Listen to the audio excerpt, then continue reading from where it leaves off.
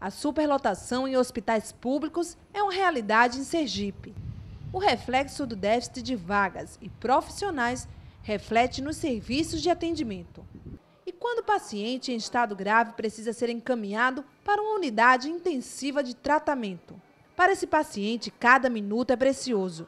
A decisão de encaminhá-lo para a UTI deve ser tomada com rapidez, mas seguindo alguns critérios um protocolo próprio e quem escolhe esse paciente é o médico que está trabalhando dentro da UTI. Não é qualquer paciente que entra na UTI.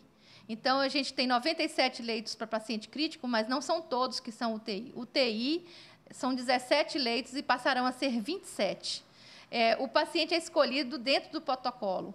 E é essa nova conformação que foi dada com critérios do Ministério da Saúde. Atualmente funcionam em Sergipe 48 leitos de UTI, 30 no Hospital Cirurgia, 17 no USE e 5 no Hospital Universitário, mas apenas um está funcionando.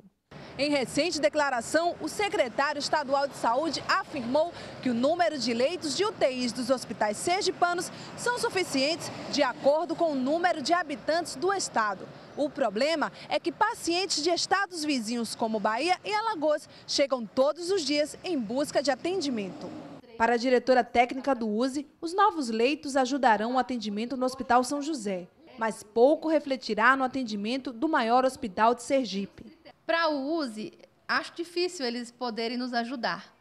Até porque nós temos aqui 97 leitos para paciente crítico. É, e vamos passar a ser, no futuro próximo, 107 leitos de paciente crítico.